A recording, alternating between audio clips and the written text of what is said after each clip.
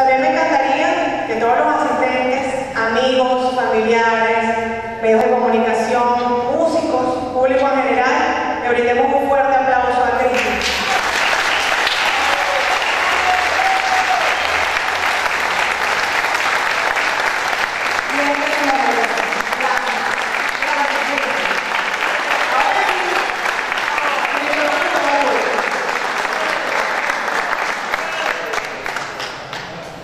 Qué barbaridad. Te tengo dos noticias, una mala y una buena. ¿Cuál es primero? La mala. La mala es que estoy vivo. Y ahora que me queda bien. ¿Quieren la buena? ¿Quieren escuchar la buena? Que estoy vivo y tengo vida y salud. este, quiero dar las gracias a los músicos y a ustedes porque la verdad, yo estaba separado de la música hace dos años. Fácil. Yo creo que uno a veces se fija en la vida en cosas que no hacen falta. Pero uno es débil, como me pasó a mí, pues. Tuve toda la vida pendiente de la gente mala. Y me di, me di mucho hasta que casi llegó la muerte. A mí me iba a matar la depresión. ¿Por qué? Porque yo soy un artista y siempre estaba pendiente de hacer mis cosas. Entonces me decían, tú no debes hacer eso. Entonces yo me sentía mal porque yo no soy así. Yo soy músico y compositor y yo hago mi vida como yo quiera. Entonces, toda la vida me, me han rechazado desde chamito, porque tengo anécdotas muy buenas que cuando estaba chamito, yo le decía a los muchachos, a los chamitos, que no, no, el niño así, es tu papá y tu mamá. Yo la mamá le decía, no te la pases con su ropa. Lo que la hizo llorando. ¡Ay! La cosa así. En el liceo yo andaba solo. Yo soy un personaje porque en el liceo andaba solo.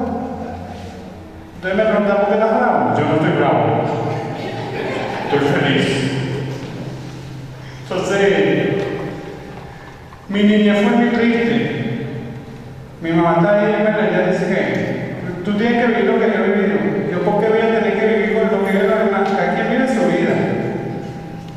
Este, fue triste, yo vivía asustado. Y era muy tímido. Igual sigo siendo tímido. Este, mi adolescencia fue pésima. Mi etapa de adulto fue trágica. En el amor nunca tuve vida con una mujer. Por eso me metí a morir. Resulta que aconteció que la primera vez que estuve con una mujer, ella me engañó, me pegó una enfermedad. No me da pena decirlo, porque es una enfermedad genética. Entonces yo estaba herido, me voy a morir. Me aclaré la mente que me iba a morir. Duré así atormentado 12 años. Cuando yo, entonces yo dije, me voy a morir los 30 años, mamá. Me voy a morir los 30. Entonces mi mamá, cuando mi sobrina, mi segunda sobrina nació, me dijo, quiero que me dé un nieto varón. Muchas adolescentes, nieto y loco, ¿no? Entonces, a los 30 te lo doy, mamá. Dicho y hecho, cumplí 30 años, me dio un fiebre en ese cumpleaños, me he hecho una cerveza. Y verga, tu madre. Y a los 30 años tuve un hijo. O sea, la, la lengua es el castigo del hombre. Entonces, cuando nació mi hijo, un miércoles santo yo estaba en Caracas, tocando el Nazareno San Pablo. Entonces me llegó un mensaje, salió positivo. Ay, padre, vale, ya sé papá, le dije a ya sé papá. Y entonces se alegraron, y yo no. Qué barbaridad, ¿no? Pensamos que éramos machos. Ellos pensaban que yo era como macho, hasta yo mismo lo creía. Pero yo fui, yo fui que ese muchacho. Vamos a hacer un beso, digo, no, ese era mamá tuya, me decía la mujer. Entonces, un niño bien bonito, se llama Cristian Gabriel Key. Dios me lo bendiga, todo el tiempo sin verlo, porque yo me lo merezco.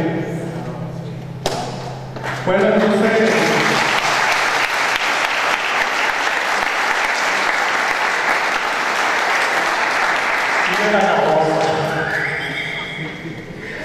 Entonces me sentí mal, me sentí más deprimido de lo que estaba. Este, iban a niños. Yo estaba asustado porque, concha, si el niño nace enfermo, uno se imagina un montón de cosas. Cuando veo al niño en la clínica de Maracay, rosadito y bonito, así como su padre. Me salí de la clínica, yo no sentía alegría de verdad. Yo estaba en la triste porque yo seguía realmente me voy a morir. Me voy a morir. Me fui a una licorería a beber, como yo era un borracho. O lo soy todavía. Me fui a beber y me embriagué por allá. Me puse a llorar solo. Borrachito me hace que me dice, ¿por qué lloras, niño? Porque soy papá. ¿Y te vamos a poner yo por eso? Ah, porque me voy a morir. Y yo, "Mm", se lo recuerdo, dicho porque es loco. Le pasó la pena, Entonces, desde que nací empecé a beber mucho y mucho y mucho y bebía. Y la gente se aburría.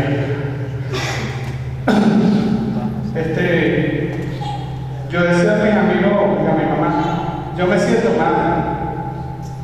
Nadie me escuchaba. Me sentía solo y la depresión cre- crecía, crecía. Entonces, yo iba a la escuela y no pude dormir y pesado. Entonces un día no aguanté más y no, llévame, llévame para el internista, Gregorio. Entonces él me lleva y el doctor mío me dice, Hijo, usted está mal, vaya al hospital. Fue la consulta más, más, más pendeja que pagué. Pagué 500 dólares, me revisó médico y me mandó hospitalizar, ya está. Entonces voy al hospital directo. Luego allá tenía deshidratación severa. Yo estaba mal. Tenía el sistema inmune bajísimo, 55. Lo normal es 1200. O sea, no salía de carajo. Después yo seguía mal, entonces hicieron exámenes, exámenes, nadie sabía qué era, no sabían qué tenía. Entonces, la gente mala, la gente mala, porque una gente buena no, hace eso, empezó a manipular información que tenía cáncer, que tenía cirrosis porque venía mucho cáncer de piel porque estaba pelado por la deshidratación, que tenía sida porque estaba flaquito. Y yo atormentaba, no, ¿por qué se meten conmigo? Yo, bueno, yo soy fuerte, yo soy un varón. Y seguí, después me hicieron una vendimia, los muchachos, los músicos. Yo no quería nada con nadie. No quería nada. Se decía a mi mamá, ¿para qué me hacen eso? No, son los muchachos. Pero preferiblemente hicieron una vendimia porque me querían dar un concierto en Bacha Fúnebre. Tú me ibas para ahí. Tú me lo comes. Si muriendo me iba a tocar Bacha Fúnebre antes de morirme. Hice una vendimia. Yo estaba indignado, indignado de mí mismo. Y mucha gente que me seguía destruyendo. Este, ahí seguía aguantando mi pena. Este, se me olvidó el cuento, ¿será que no lo vi? Seguía aguantando la pena, entonces esos días después de la vendimia yo estaba peor. Perdí toda la fuerza, quedé en silla de ruedas, no tenía fuerza de nada. Yo no podía ni un spray de colonia. Yo decía, esta colonia está muy dura, ¿sabes qué está mala? No tenía fuerza para echar un perfume. No podía sostener un cubierto. Este, no me podía sentar derecho porque me caía. En la poseta varias veces me caí sentado y me revolcaba en la caca porque no podía caminar. Muchas fuerte. No podía caminar. Este, una vez que quise comer mucha guarda. Me puse a llorar, hermano Antonio no estaba ahí. Porque no me podía poner un pantalón. Estando en el hospital,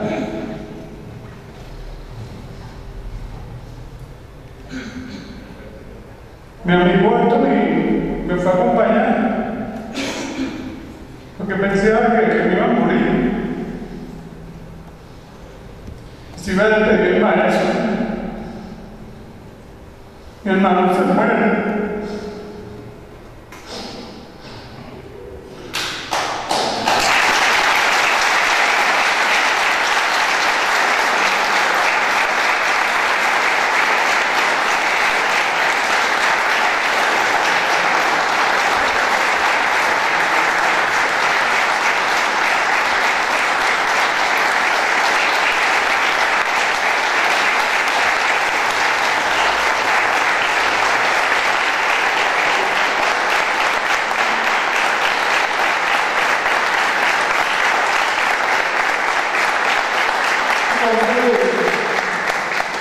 Entonces, que me iba a morir. Entonces yo con un médico me, me discriminaron, me estigmatizaron. Hasta la misma mamá mía me votó. Pues como que le daba pena andar conmigo. Y yo seguí aguantando. Después llegó el día que ya estaba así, muriéndome. Yo odiaba a Dios, a Dios lo odiaba. Me decía, pero mamá, Dios no existe. Odiaba cada amanecer porque quería amanecer muerto. Le pido a Dios perdón porque yo sé que la vida es bella, amo a la vida. Este, ahora me gozo cada amanecer, me momento, estoy más loco que nunca.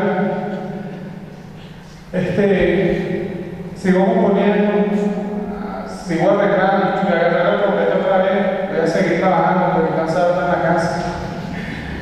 Este, llegó el día que me decidí a pararme porque mi sobrinita de 9 años, Nicole, me dijo, tío, yo quiero que usted tome 15 años. Me aguaron los ojos. Hija, yo voy a estar para tus 15 años, ya está cuando te cases. Me fui parando. Me pedí un taxi, no podía caminar, yo cómo me arreglaba, mi, mi sobrina me cargaba por ahí. Iba a ver mi muchacho, ¿no? ¿qué pasa? No me lo llevo y no lo busco. Aunque no lo podía cargar porque no, tenía fuerza. Entonces, me fui recordando hasta el día que, ¿qué pasa? No soy humano. Anzi, più infermo, un tesoro importante, non vuol dire che tu sia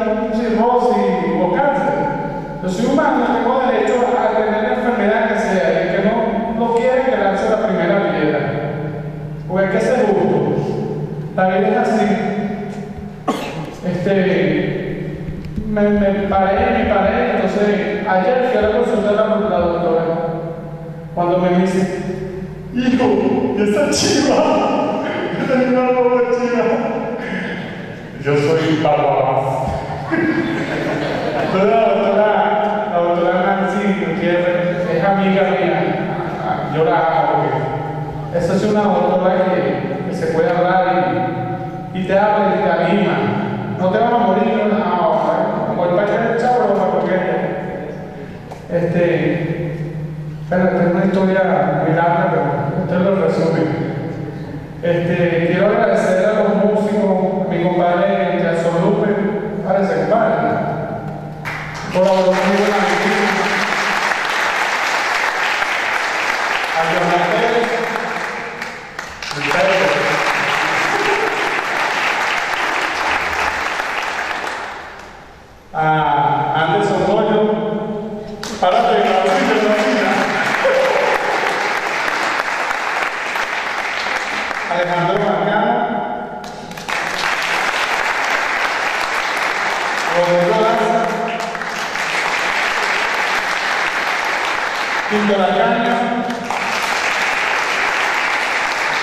Robert Rangel, Achille Gómez, Eduardo el poeta